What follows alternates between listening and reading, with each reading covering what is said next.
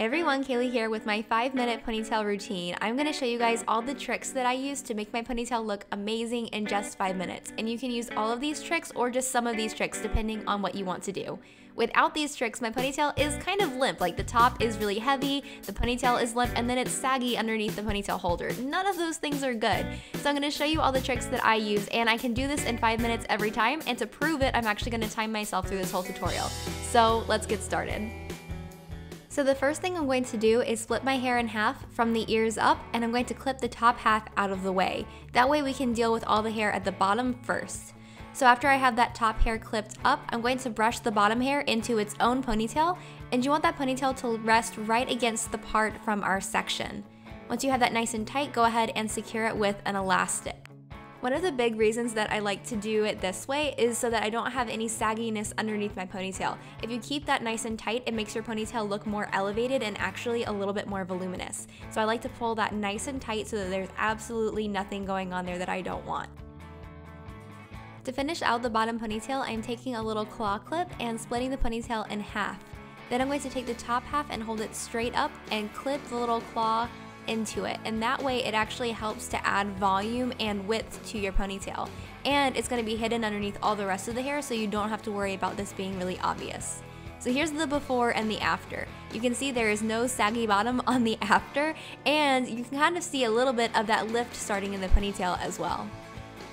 And now it's time to let the top down. And what I'm gonna do first is actually tease the crown of my head just a little bit. So I'm brushing the hair straight back going to take that section of hair and I'm just using a hairbrush to very lightly tease it. My hair likes to split in the back, so I typically just do a little bit of teasing just to make sure that everything stays together. This is one step that I don't do every time. I thought I would show to you guys today so you can see the full effect, but this is definitely something that you can skip, especially if you're not a fan of teasing. So I just did a bit of teasing and I'm smoothing it out now. And then I'm going to sweep it back and together with the first ponytail. So basically we're going to pull these two ponytails together into one. And as I do that, I'm also going to look at how it looks from the front and make sure that I like the way that it's arranged. And this is one reason why I like doing the ponytail in two halves, because all I have to do right now is deal with the top half and get it perfectly the way that I want it. Then to secure it, I'm actually going to use a DIY hair bungee. You guys have seen me do this before where I take an elastic and I put a bobby pin at either end and I use that to secure my ponytail. But you can use a normal elastic here and it would be totally fine.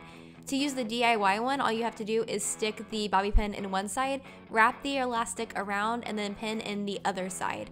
And this helps to kind of secure your hair without messing up all the arranging we just did. But if that seems way too overachiever to you, just use a normal hair elastic and it will work just as well.